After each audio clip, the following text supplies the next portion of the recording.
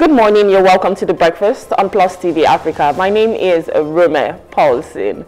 It's Monday, the 18th of November 2024, and can you believe it? It's 37 days until Christmas. So Christmas is really fast approaching and you're wondering how did the year run so fast? Well, it does, time flies.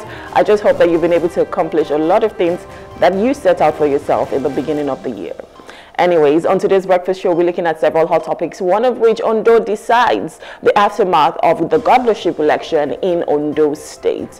Another topic we'll be discussing much later in the show is the bill to exempt companies from tax for debate next week. We'll also be taking global stories that made it to the front pages of our national dailies, as well as some top trending stories. But first, let's check out our quote of the day to set the tone.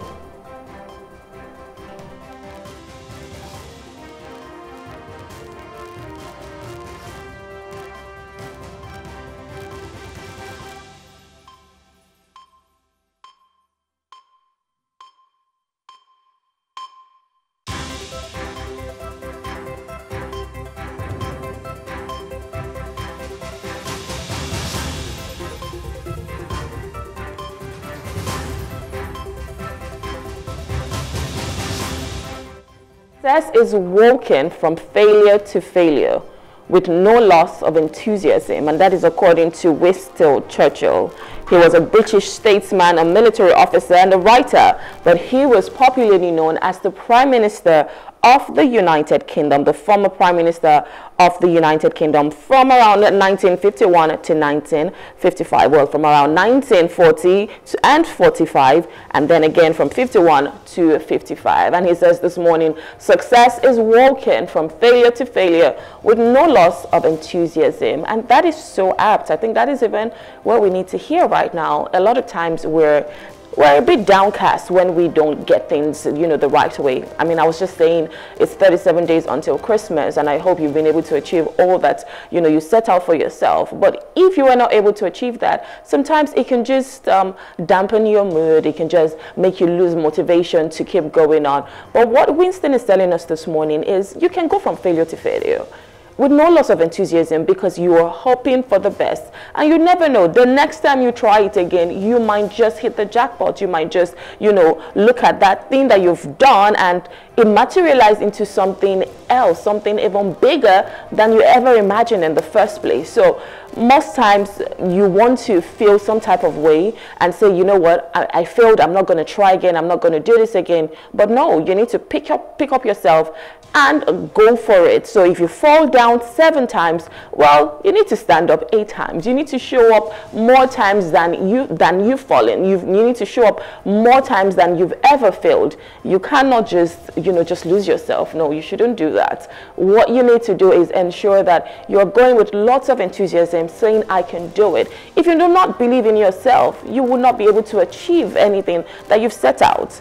And you cannot even get people to believe in you when you do not believe in yourself. So it starts with you. It starts with your mindset. And that's why we were giving you this quote this morning to set the tone for your day, set the tone for your week, and then even the remainder of the year. So make sure that regardless of whatever is happening, even with the economy, anything that you're seeing going around, just know that yes, I know that I will succeed. I know that I am a success. And even if this current reality is telling me that I'm failing, I will keep going. I will keep showing up for myself.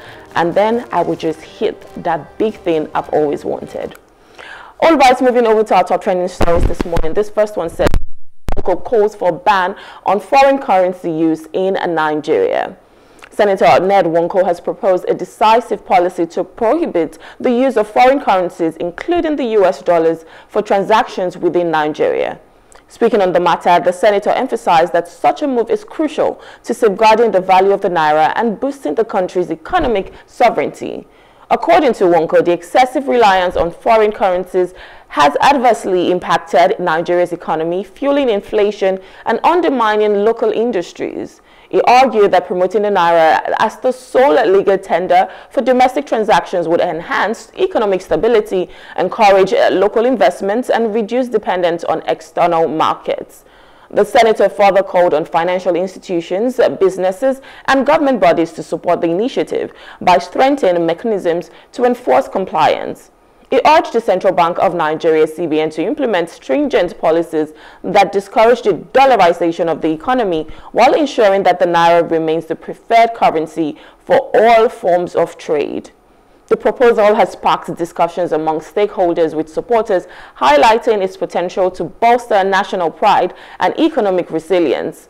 Critics, however, cautioned against potential disruptions to international trade and the need for robust measures to build confidence in the Naira before implementing such a ban. As debate unfolds, um, Senator Nwoko's proposition reignites conversation about the future of Nigeria's currency and the steps needed to secure the, the country's economic autonomy. If you go to the United Kingdom, for instance, do you think they sell anything in Naira? Or do you think they make any transaction in Naira? If you go to Bangkok, for instance, do you think they would use another currency? Or if you go to the United States of America, which is um, most times the currency that we use, we, we try to use dollars a lot of times in Nigeria, do you think they're using your own currency? No. In fact, there are chances that they are not even using the Canadian dollars, which is, you know, almost close to that. So why are we using their own currency? Why are we not trying to strengthen our own? Well, let's let's just keep that somewhere. We'll go on a short break. When we return, we'll have more on this. Thank you.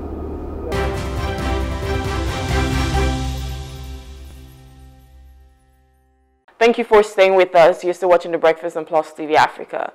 Okay, so we're talking about the ban on foreign currencies, um, you know, for transactions in Nigeria. And there were several questions I was asking, and one of which, do we use or do other countries use our own currency? So why are we using their own currency, their own currencies, I beg your pardon, for local transactions? I understand that, you know, there are several times you want to buy something else, um, uh, you know, abroad, having to do foreign transactions. And of course, you have to buy in their own currency. And that should be the same way.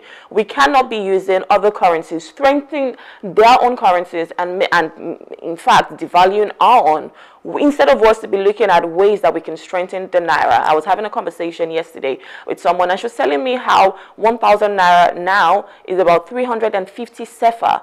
And that is just our neighboring country here in Benin Republic. I remember when 1,000 used to be about 3,000 um, CFA. So now other countries, their own currency is even strengthening them more. And she was saying, most of my people are not here anymore. Most of my people have left Nigeria because, of course, uh, the, the, the Naira is so weak.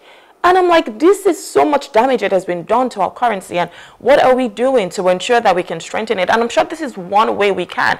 Because you go into, especially in real estate, they tell you, oh, this house is how many thousand, how many million dollars, whatever they call it. Most times, even local businesses like, um, you know, uh, people who make clothes, fashion designers, they're telling you that they charge in dollars. People who do skincare, they're telling you that they charge in dollars.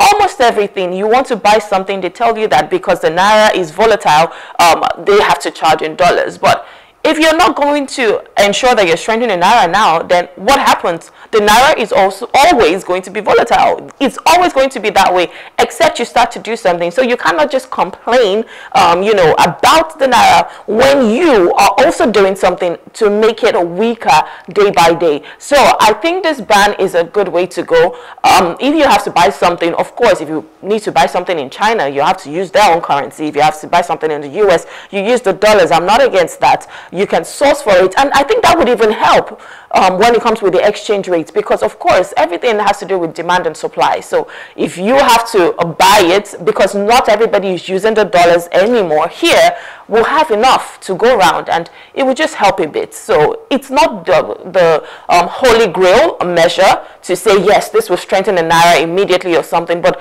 these are little policies that we can start to implement to ensure that, you know, we're strengthening Naira, the economy is getting better, and it will just work for each and every one of us. We're all crying that this economy is uh, insane at the moment, but if we're not doing our own bits, then it's always going to remain like this or even deteriorate the more. And what kind of economy do we want to leave to our kids? That's a question, you know, a thoughtful question that you need to think about right now. Anyways, moving over to another top trending story. This says Niger Nigeria's external debt projected to hit 45 billion by January. Nigeria's external debt is anticipated to rise to $45 billion before the end of December 2024, raising concerns about the country's financial sustainability. This projection comes amidst ongoing borrowing to fund national infrastructure, address budget deficits, and finance critical development projects. Um, according to reports, the federal government has been securing loans from various international lenders, including multilateral institutions and bilateral agreements to address pressing economic challenges. However, the growing debt profile has sparked apprehension about the country's ability to meet its repayment obligations. Economists and financial experts have cautioned that Nigeria's increasing reliance on external borrowing could pose significant risk to economic stability. They highlighted potential challenges such as a rising debt servicing cost, limited fiscal space for development, and increased vulnerability to global economic shocks. In response, the government has assured the public that the loans are being utilized judiciously to stimulate growth, create jobs, and improve infrastructure. Officials also emphasized ongoing efforts to diversify the economy, enhance revenue generation, and manage the debt burden effectively. Despite these assurances, stakeholders are calling for greater transparency, prudent fiscal management, and a comprehensive strategy to reduce dependence on borrowing. As the year ends, all eyes remain on Nigeria's economic planners to navigate the delicate balance between development needs and debt sustainability. We keep borrowing. We just keep borrowing. And, and I don't even know if we can get out of that because we're so used to borrowing that any little thing, we just go external borrowing. And as a child, I know what one thing my mom always told me, something that she imbibed in me was, don't borrow. Manage what you have. Do not sell your properties. Manage what you have. It's just about cutting your, your, your coat according to your cloth, according to your resources. So these are the resources you have. These are what we have in Nigeria. Why are we not managing it? Instead, we have to keep borrowing every single time. And guess what? You're not really seeing what the monies are being used for. Now, they've said not to worry, it's going to be used judiciously. What is the word judiciously? Because so far, if we're looking at track records, we've not really seen that. Instead, we're seeing them spend so largely, living, uh, you know, amazing luxury lifestyles, buying luxury cars, yachts, um, you know, renovating houses. That's what they've been using the monies for instead of the people, instead of having to better the lives of the people. We're talking about infrastructure. There are so many roads that are so bad. In fact, I was at a Ekiti for a wedding over the weekend and the road to go to that place was ridiculous. And I'm like, there is a governor in this state.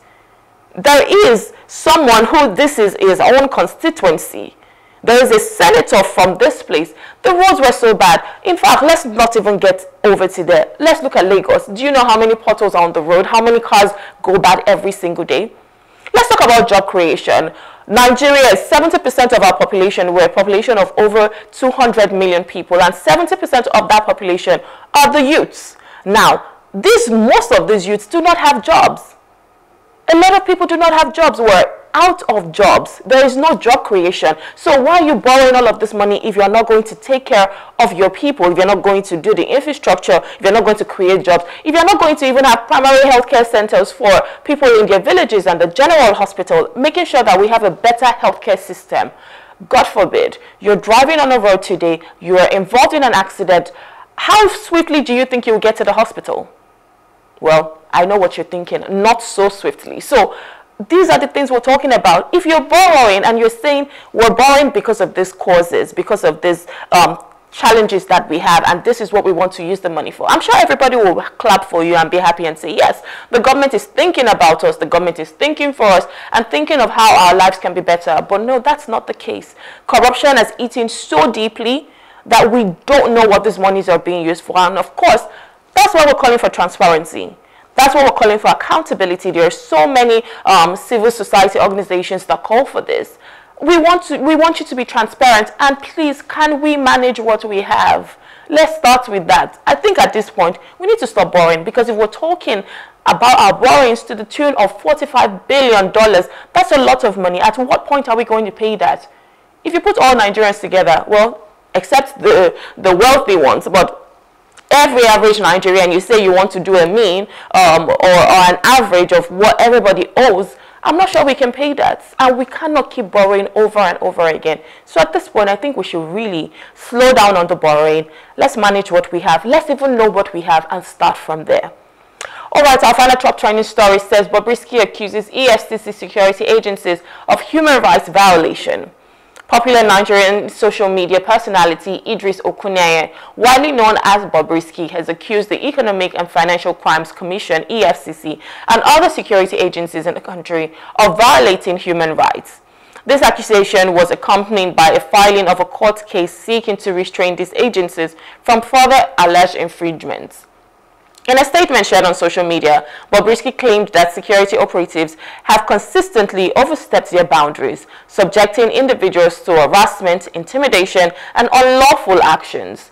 The socialite expressed a desire for accountability and respect for citizens' constitutional rights, urging the judiciary to intervene by setting clear limits on the powers of these agencies. Bobrisky's legal filing aims to secure an injunction preventing the EFCC and other agencies from engaging in actions deemed oppressive or unlawful. In addition to sharing the court's documents, Bobrisky reiterated the importance of protecting human rights and called on Nigerians to support efforts to hold security agencies accountable for their actions. This development has sparked significant public interest, with many lauding the move as a step towards ensuring accountability, while others view it as a contentious battle between a public figure and state institutions. The EFCC and the named agencies have yet to respond to the allegations. As the case unfolds, it raises critical questions about the balance between enforcing the law and respecting the fundamental rights of citizens in Nigeria. And I think that is the that's the key word there. You know, the balance between enforcing the law and still still just respecting our fundamental human rights. And I think it's not, I know Bobrisky here is talking about, you know, the EFCC, but I think it's not just the EFCC. Generally, I, I want to believe um, people get intoxicated with power, especially if they're in a place of power or they have an office, um, you know, that is above yours. They get intoxicated, whereby they want to definitely prove something. I don't know what they're trying to prove, but maybe just prove that they are powerful or they can do whatever.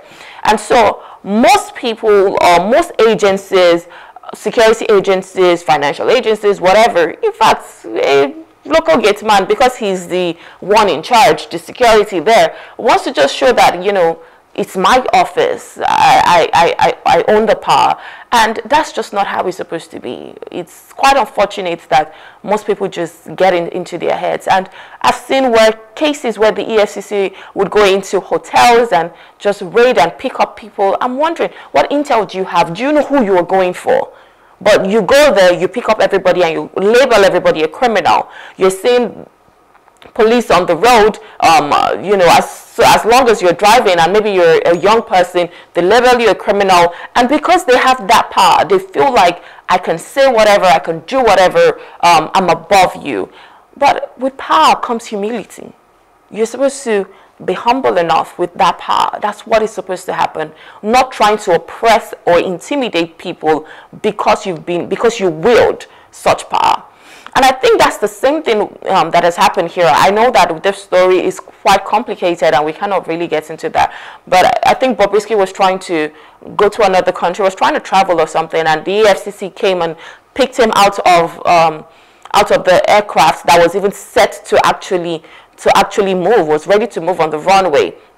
And so they picked him out. According to him, there were bruises. You know, obviously his fundamental human rights was being violated. And like I said, it's a very complicated story because a lot of people are saying, oh, now these are grounds for asylum. In fact, I was checking out the story on social media. A lot of people are saying, oh, with everything that has happened, he can actually file um, grounds for asylum that, you know, his country, obviously, they're oppressing him and stuff like that. We do not want, I know everybody have their own impression about Bobrisky, but Bobrisky is on one hand. There are so many people who are going through this as well. There was a there was a story of a woman, I think it was sometime last month, that also called out the EFCC. She claimed that um, they came to pick up her husband, they kept him in detention, they knew that he wasn't a part of whatever was going on, but still, and she said, I was going to, you know, come on social media and talk about everything, and she went on social media and ranted, and she said they even um, they even bruised her as well. So uh, we cannot be doing this. If you're a security agency, do everything by the book. Do everything. If what you're supposed to be checking, check everything. Don't go and violate people's fundamental human rights. And this is where we need to start to speak up. Um, there are peaceful protesters. Obviously, they're being intimidated. They're being violated. We cannot. We, it's 2024.